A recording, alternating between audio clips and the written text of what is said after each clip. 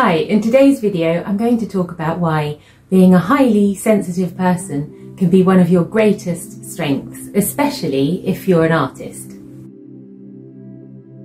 Last week I shared a video about how to find your artistic style. I explained the key to finding your style is understanding the reason why you paint. I asked seven artists to share where their motivation for painting comes from. Listening to their answers made me think deeply about why I'm an artist.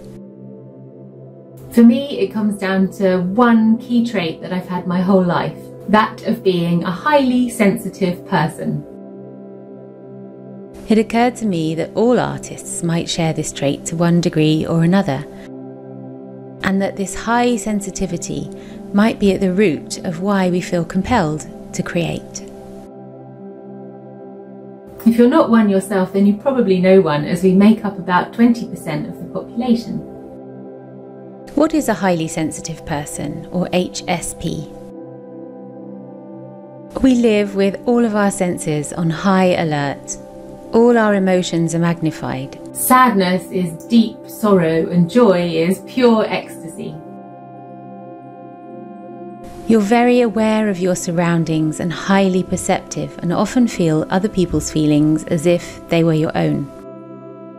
Growing up, I was told things like, don't take everything to heart, or you need to learn to have a thicker skin. It was almost treated as a disability, something that would cause me problems further down the road. We're deeply intuitive and experience life in Technicolor.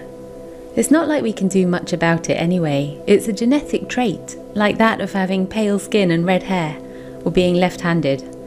I got all of those too. As HSPs, we enjoy analysing things and we can get lost in the tiniest of details, which I think can be a real benefit to painters.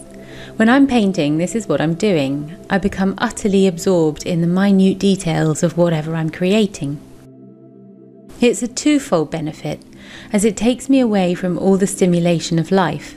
The world becomes quiet and calm, with one sole point of focus.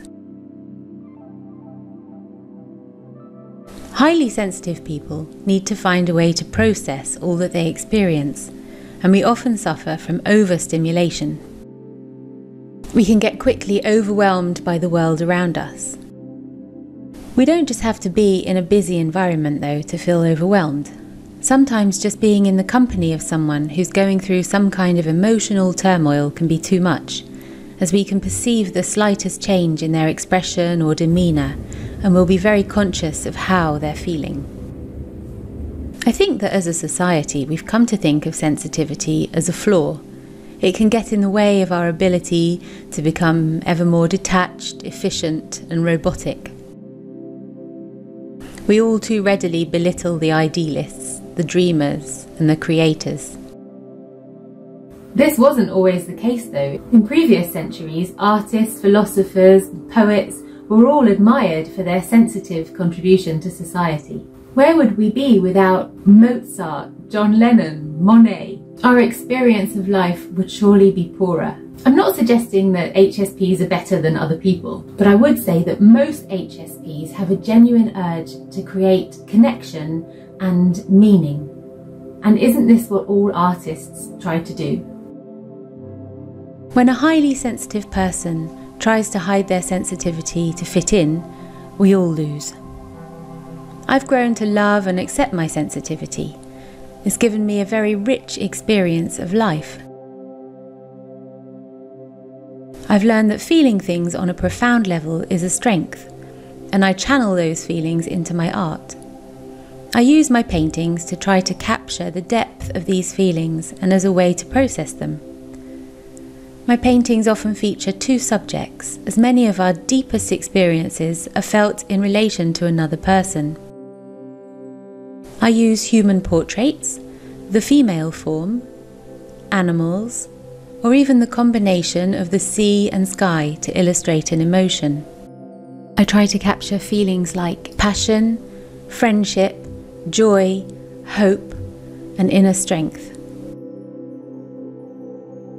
I've learned that stripping back the details of my subjects help to reveal their essence and the emotion that they represent.